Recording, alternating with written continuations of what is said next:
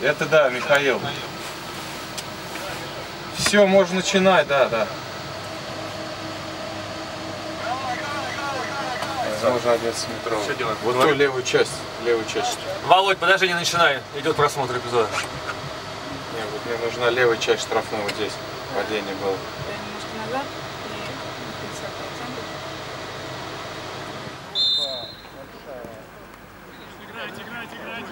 50%. Думаешь, ты считаешь это очевидно?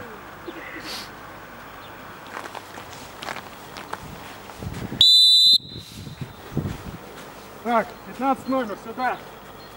Здесь руки не было. Как не было? Не было руки. Так он рукой сам сказал, сыграл. Не, ну не было. Камера показывает. камеры что еще не видно, что ли? Для него не очевидно это толчок. Он, значит, в этой ситуации... Значит, я ему должен показать уже второй момент, чтобы он прове- проверил, правильно? Конечно.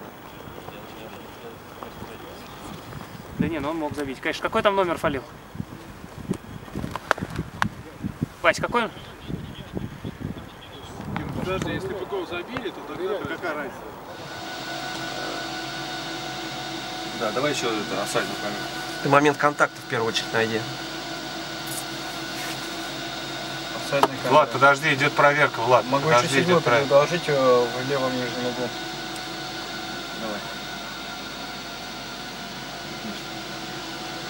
Все, Влад, проверка завершена, все правильно, продолжаем.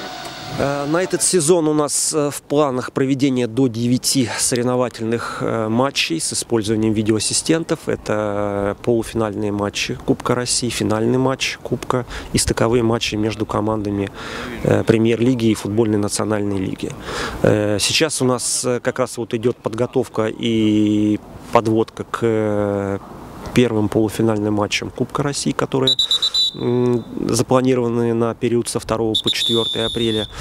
Каждое из этих мини-занятий, оно э, приносит какие-то проблемные ситуации, падение в штрафной, игра рукой, офсайды, э, дисциплинарные санкции. Игроки получают указания от э, тренера, который является модератором. Он им подсказывает, что нужно в тот или иной момент сделать, какую ситуацию разыграть, для того, чтобы судья принял оригинальное решение. А дальше, если ВАР считает, что совершена очевидная судейская ошибка, идет процесс коммуникации и э, пересмотра момента на мониторе, который располагается около поля. А Сегодня у нас будут практические занятия, завтра, послезавтра уже короткие матчи, два тайма по 20 минут, э, в которых э, команды будут играть нормальный футбол. Единственное, что каждую команду, э, скажем так, инкогнито мы будем просить в каждом из таймов сделать какую-то ситуацию, которая э, должна привести к проверке, как минимум к проверке со стороны видеоассистентов. Я не говорю о пересмотре ситуации со стороны судьи, к проверке такой тщательной, такие ситуации не должны быть. Момент контакта сделай с, э, с ногой. Первый момент. Назад, назад, назад, назад. Чуть назад. Да, хорошо, а теперь в динамике включи просто. У нас проходит в каждом туре премьер-лиги так называемые оффлайн матчи Это тоже определенный этап в соответствии с регламентными нормами FIFA и FAP для получения лицензий, для достижения, скажем так, финального результата, того, чтобы нам разрешили э, проводить вот эти боевые матчи с использованием видеоассистентов. Мы находимся в одной из двух э, машин, э, специально подготовленных э, по заданию Российского футбольного союза на сезон 2018-2019. Э, С помощью этих автомобилей мы планируем отработать на 9 матчах, 5 матчах Олимп Кубок России 2018-2019 и 4 стыковых матчах. Мы забираем э, все ракурсы со всех камер э, ТВ-трансляции, которые показывают поле.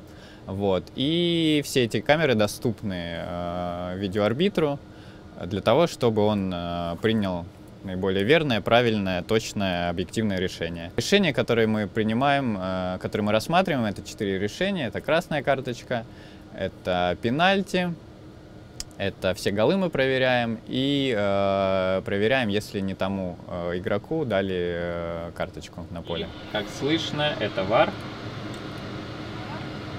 Раз, два, три, четыре, пять. Идет проверка. Как слышно, это вар.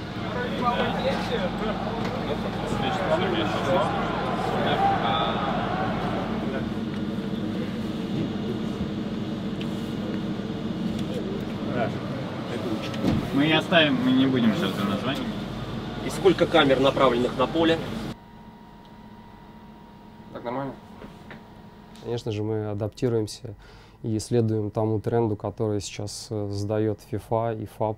И нравится нам, не нравится, мы обязаны следовать этому. И, конечно же, а, в большинстве случаев, э, как показывает опыт, э, это полезный опыт и нужный. С этим будущее. Я так думаю.